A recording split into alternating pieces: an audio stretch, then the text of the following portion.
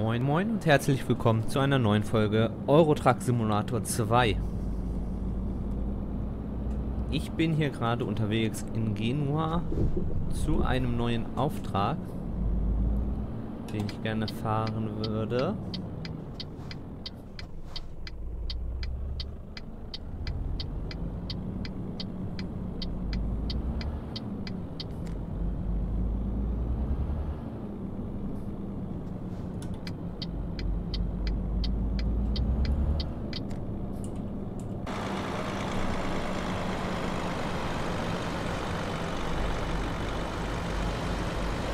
Da sind enge Kurven hier. Breite Straßen, aber sehr enge Kurven hier durch dieses Industriegebiet.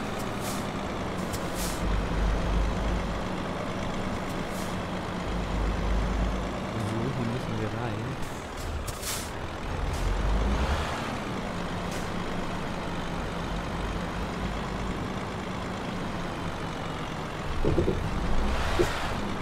Zack.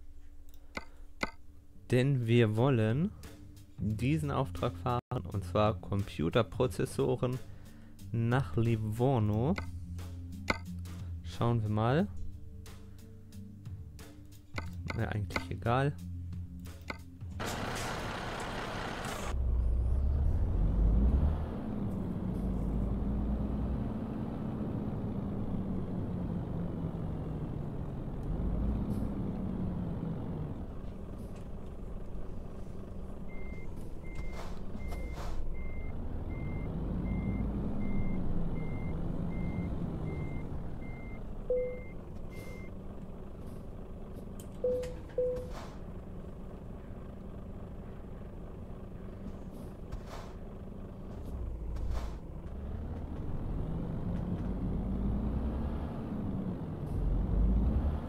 So, damit starten wir also.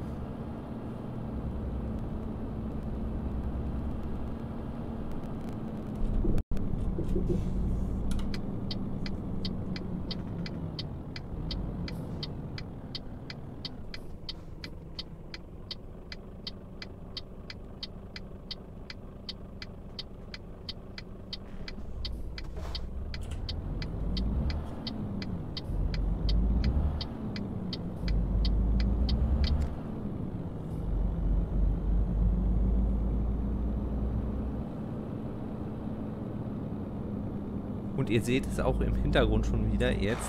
Die Sonne geht mal wieder auf. Mal wieder ein Sonnenaufgang.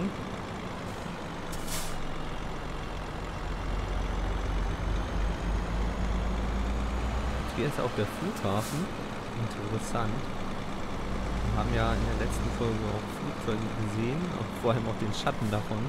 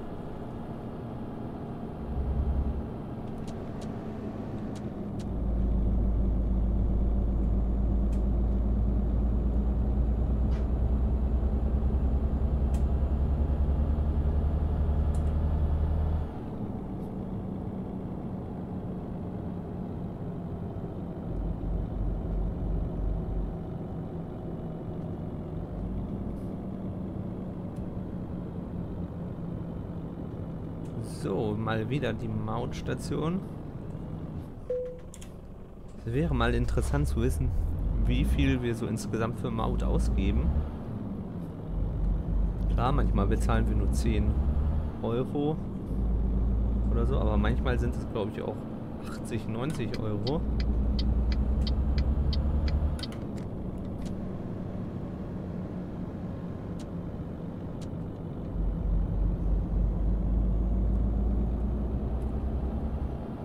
Ich weiß gar nicht, wie das hier ist in diesen Ländern.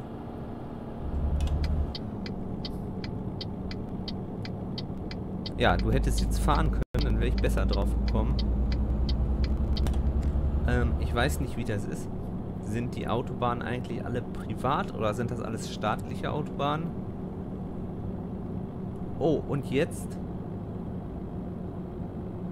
fahren wir über diese Brücke, die in Genua eingestürzt ist, glaube ich. Das sieht mir verdammt so aus. Die gibt es hier also im Spiel tatsächlich und ist auch ziemlich ähnlich nachgebildet. Die ist ja vor ein paar Tagen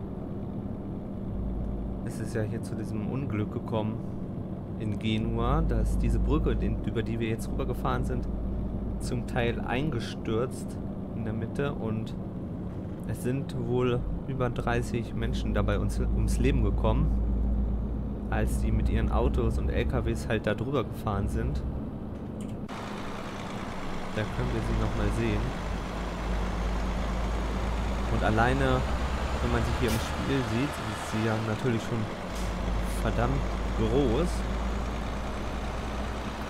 Und wenn man sich vorstellt, wenn da einfach so ein Stück rausbricht und in die Tiefe stürzt, ja, möchte man sich eigentlich gar nicht vorstellen. Das ist schon heftig.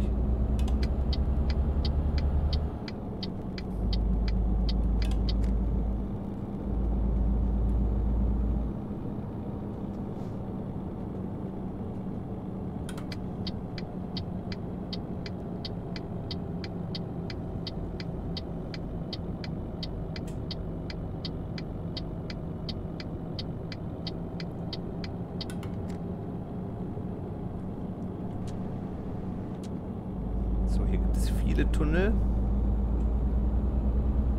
durch die wir durch müssen. Das ist ja so eine kleine Besonderheit hier. Oder generell eben auch in vielen Teilen Mittelmeer, dass da ja auch Steilküsten sind.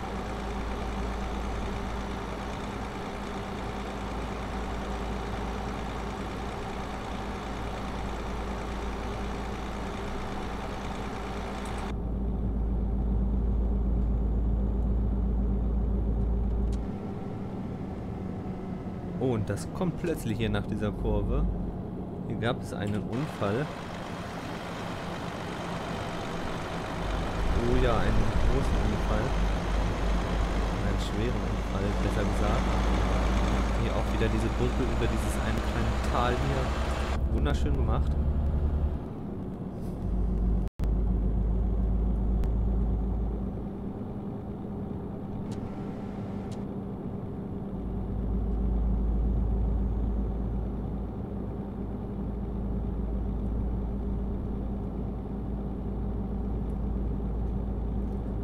Hier sehen mir die Tunnel ziemlich alt aus. Ich weiß nicht, wie das in der Realität ist, ob die Tunnel da auch so aussehen. Ähm, aber es gibt so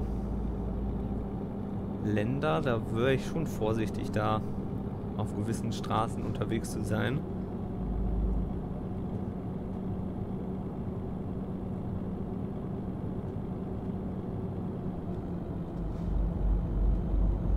Also ich hätte jetzt, glaube ich, in Deutschland keine Bedenken durch Tunnel und über Brücken zu fahren und in Norwegen oder generell Skandinavien. Aber je weiter ich so da nach südlich, südöstlich komme, würde ich mir da schon Gedanken drüber machen. In Ländern wie Italien, Griechenland und Tschechien vielleicht. Ich weiß nicht. Ist einfach so das Gefühl, als müsste man da ein bisschen vorsichtiger sein und mal schauen, wie das da so ist.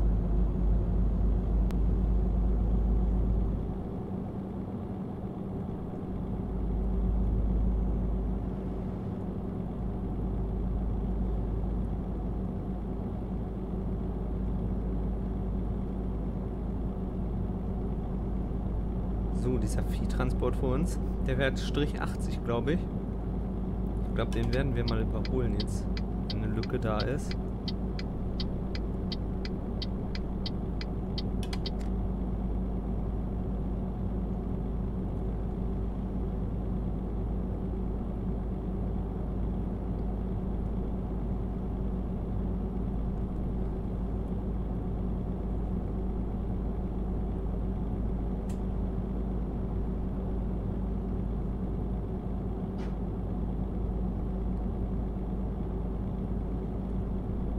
Hat er scheinbar Gas gegeben. Auf jeden Fall kommen wir jetzt nicht mehr so schnell vorbei.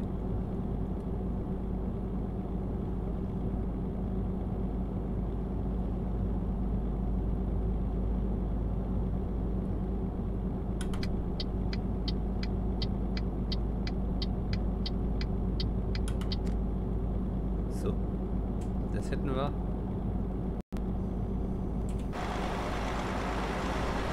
Wir kommen in die Toskana. Sehr schön, dass hier die Schilder das auch ausschildern. Dann weiß man ungefähr, wo man ist, in welchen Region. Finde ich richtig gut. Dann stehe ich nicht so wie in Frankreich da und weiß gar nicht genau, in was für ein Gebiet man jetzt ist.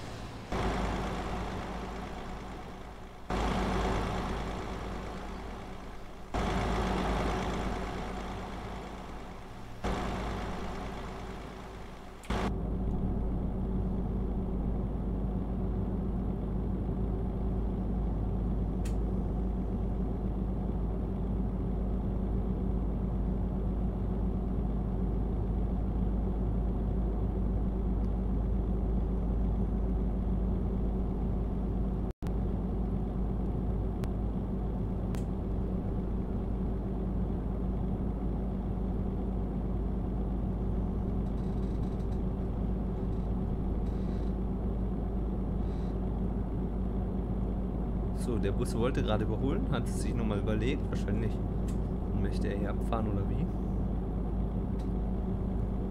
Einmal rausgezogen und gleich wieder reingezogen, aber er bleibt hinter uns.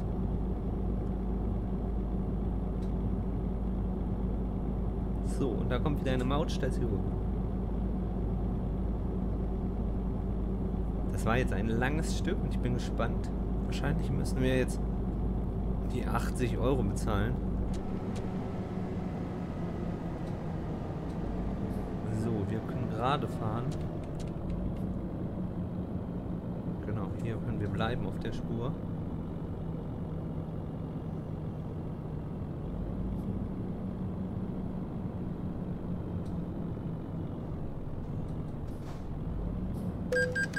Ja, 44 Euro, das geht ja. Kommen jetzt aber nicht vor dem LKW wahrscheinlich raus. Nee, macht nichts. Sowieso hier abfahren.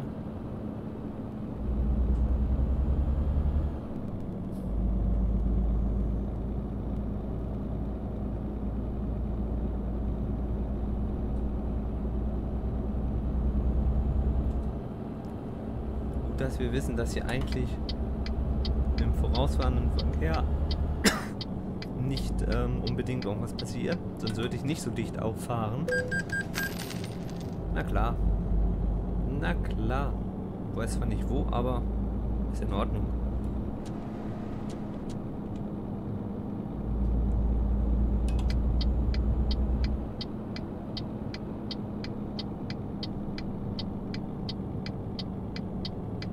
Erster Aufenthalt in Livorno.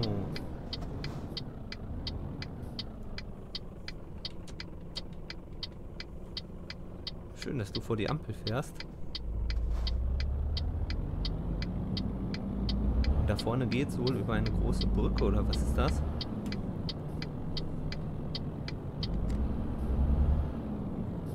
Wir müssen hier runter.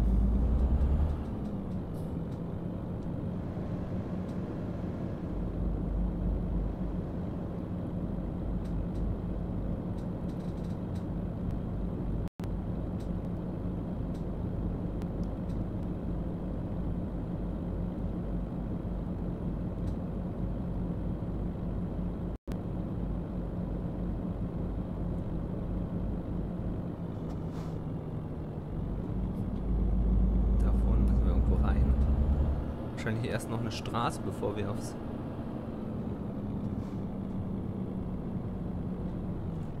Oh! Hätten wir hier reingemusst.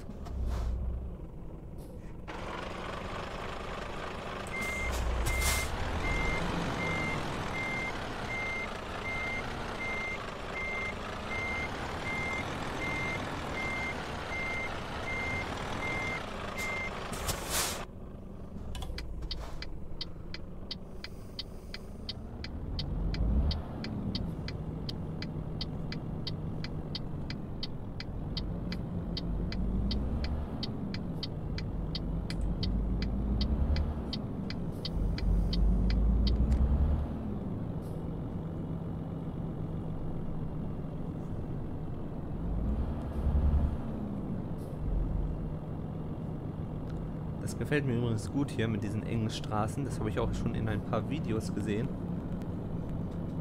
Dass ja hier in Italien auch ähm, sehr enge Straßen gebaut haben. Zumindest so die Zufahrten zu den ähm, Firmen. Das würde ich mir auch so für das Spiel wünschen, dass man vielleicht auch mal durch Altstädte fährt, in denen es ja wirklich sehr eng ist.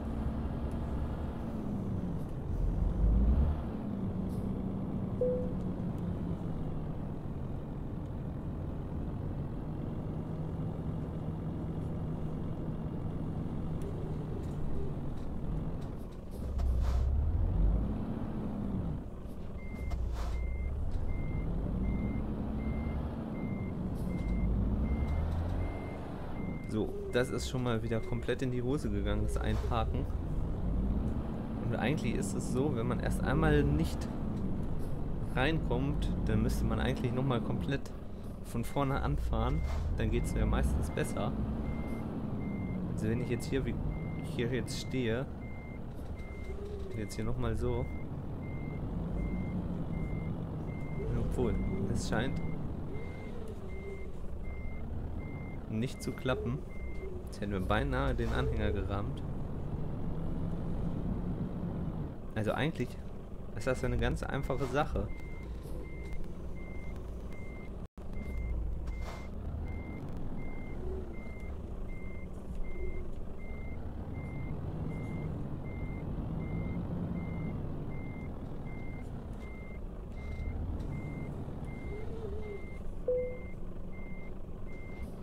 So, damit sind wir angekommen in Livorno. Unsere Computerprozessoren haben ihr Ziel erreicht. Ich sage vielen Dank fürs Zuschauen. Lasst eine positive Bewertung da, wenn es euch gefallen hat. Ein Abo würde mich natürlich auch sehr freuen. Und dann bis zum nächsten Mal. Euer Kevin Zock. Bye, bye.